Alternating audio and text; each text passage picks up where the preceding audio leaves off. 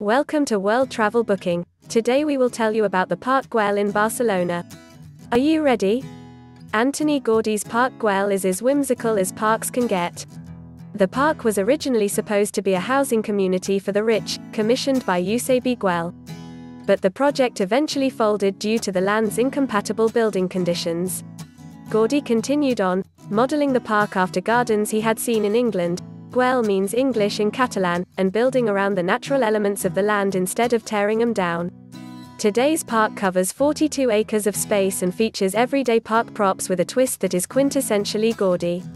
Instead of numerous benches spread throughout, here visitors will be greeted with one long, wavy stone bench adorned with vibrant mosaics and equipped with views of the ocean.